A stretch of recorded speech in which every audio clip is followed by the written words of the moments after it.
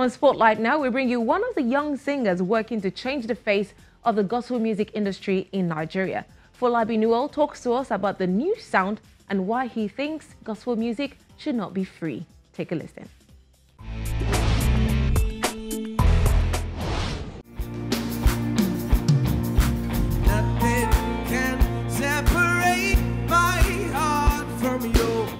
Folabi Nuel came into music the same way many others before him did, through the church. However, his style of delivery and thoughts about the current structure in the gospel music circle here in Nigeria marked him as part of the crop of new singers changing the face of the subgenre.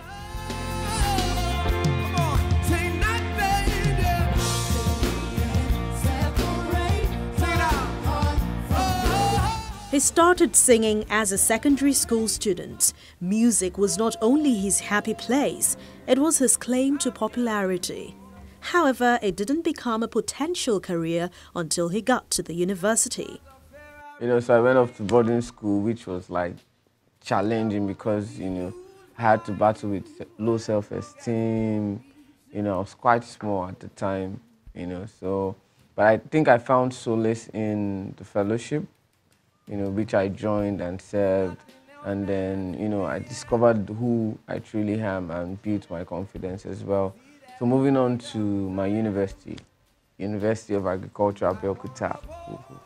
Yeah, you should Google it.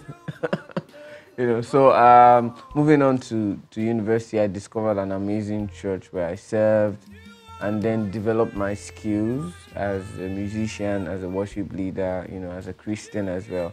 Um, but then I didn't um, have a clue that I would, you know, venture into recording songs and releasing to the world. So I think uh, at some point I had so many songs coming, and then I was like, okay, let's just record these songs and just share with people. And then that was the start of it.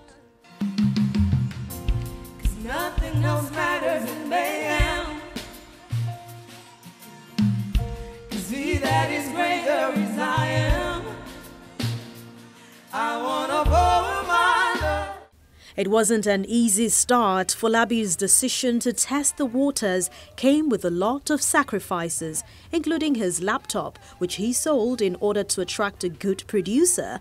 That's where popular producer Wilson Joel comes in. There's this particular song that I loved so much and I wanted people to just listen to. And, you know, and uh, with a great song means you need to get the great producer as well to express that song for you.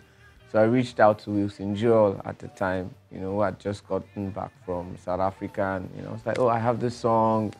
And as you can imagine, I'm this young boy with no clue how to go about this. And um, Wilson has been in the industry for quite a while.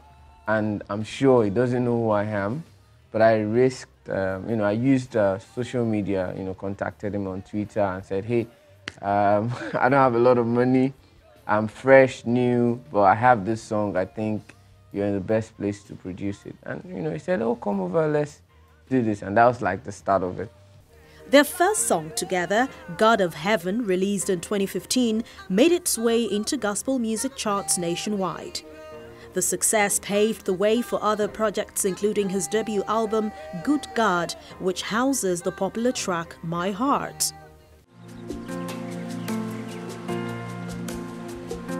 Folabi's passion is born from the desire to create music that appeals to the millennials who have a taste for great production, creativity and delivery, as well as theme and songwriting. He has been compared to the likes of Grammy-nominated guitarist Travis Greene, who he names one of his influences alongside non-Christian artist John Legend.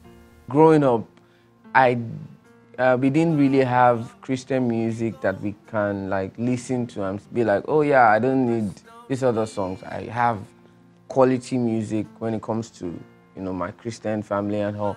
You know, so we've, um, but I think we're growing.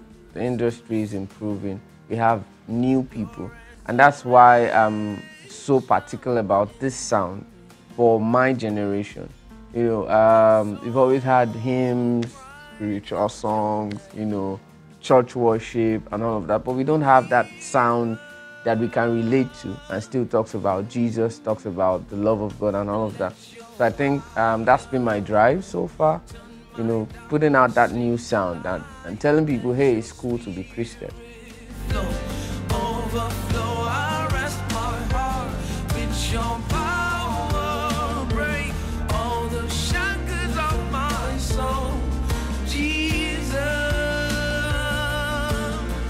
With that change of mentality comes a demand for an overhauling of the existing business structure and distribution system. Part of the reason why the previous generation was, you know, chunking out music that wasn't all that excellent or having enough quality and depth was because there was no funds. And to encourage that new sound that has the excellence, that has um, the quality, the proper time and um, you know it's produced right, we need funds. Um, I, I, know in you know developed countries we have publishing rights, we have structures, uh, royalties that you can track. You know you get money off all of these platforms. But luckily for you know our generation, we have the internet. So even if churches don't pay you, or other events don't pay you as much, or you don't get CD sales, which I think is you know gradually fading out because we have you know Deezer, iTunes, and other platforms. You can put your music on. Yeah, and then another thing for Christian music, we should stop giving it out free.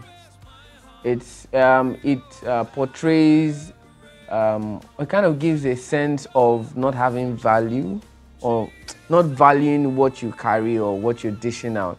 So put it online, let people pay for it, uh, put it on YouTube, um, create an AdSense account, and when they view your videos, you know, you can get some money off it. So, not necessarily because money is your primary goal, but just so that you can create something better, which requires more. You have to go on tours, you have to reach out. I think the average producer charges 250,000 per track and that's not including mixing and mastering, you know, CD printing, or even putting it up online as well. So it's a lot. So I think we can um, leverage on the internet.